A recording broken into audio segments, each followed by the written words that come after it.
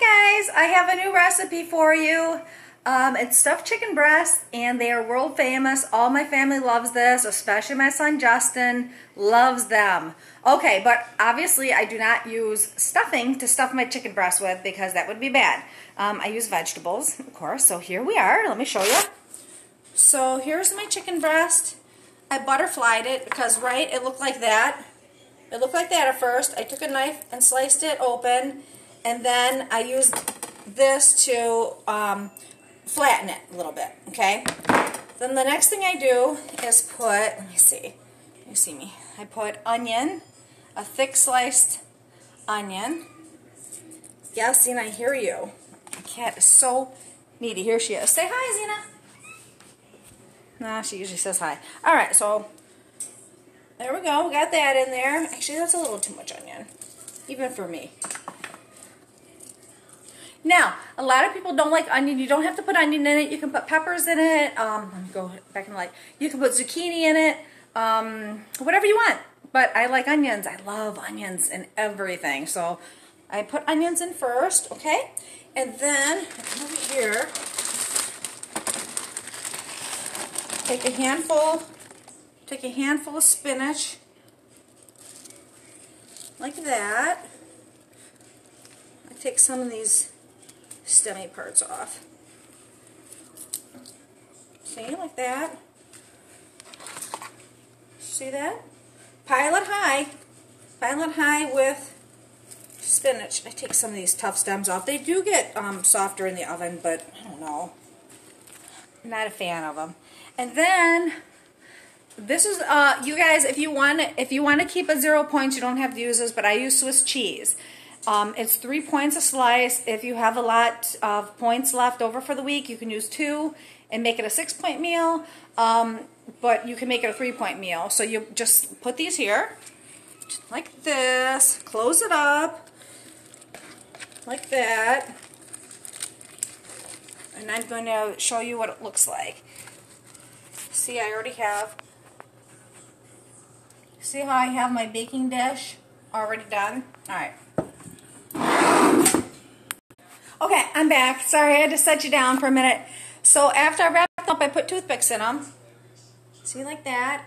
As you can see, I had some asparagus here with tomato slices on top.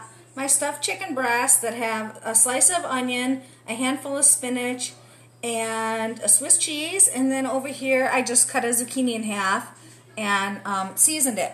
So let me tell you what I use for my seasonings. All right, I put crushed red pepper in everything. All right, crushed red pepper, everything, everything. I love it. It's good. Zero points. All right, the next thing I use is Lea & Perrins um, Worcestershire, Worcestershire. No one knows how to pronounce this stuff, but it's zero points. Um, and I splashed it over everything, so all of it, see? And then I found this new stuff that's also zero points. It's called um, I don't know how to pronounce it. I'll put pictures down in the um, comments so that you guys can find this stuff later.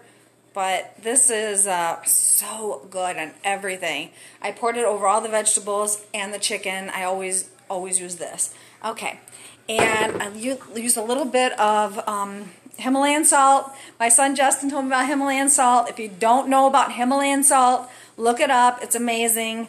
I never use real salt, regular salt in anything anymore at all. This tastes so much better and has so many vitamins in it for you. All right, and then of course, just good old-fashioned pepper. So this couldn't be easier. Now remember, you can use any kind of vegetable that you want in the um, chicken breast.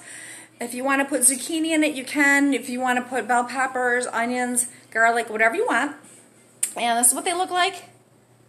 How good that looks. Now I have a whole meal um, ready on one, one baking sheet. All right, so I'm going to put this in the oven at 350 for about a half an hour, and then I always use um I always use a um a ther thermometer ther thermostat thermometer to make sure that it's cooked all the way. You don't want to overcook chicken. Chicken, if it's overcooked, tastes like a hockey puck. If it's undercooked, you're going to die. You're going to have botulism or whatever that stuff is called. All right, so I think I get everything. One more thing.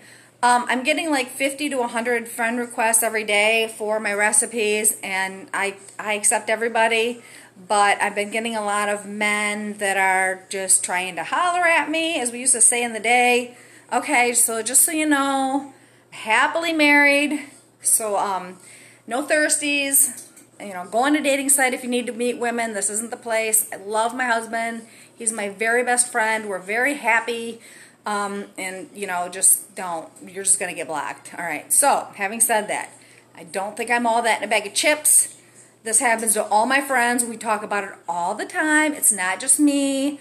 These men find us somehow and just want to I don't know. I don't know what they're trying to do, but guess what? We make fun of you, so don't do that. Save your pride, save your ego. I'm not gonna. If you're not here for recipes and lose weight, just don't bother. Okay. Um. So, um. Yeah, and this doesn't go for my male friends that are my real friends in real life. Obviously, it doesn't apply to you. You can send me any kind of message you want. All right. So I'm to put this in the oven. I'm to pause this, and then I'll come back and show you what it looks like when it's done. All right. See you soon. Bye.